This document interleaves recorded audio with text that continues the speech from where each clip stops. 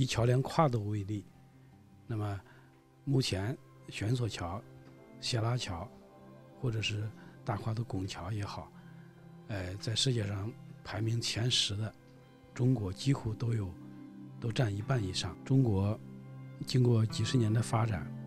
桥梁建造技术可以说特别是最近十年吧已经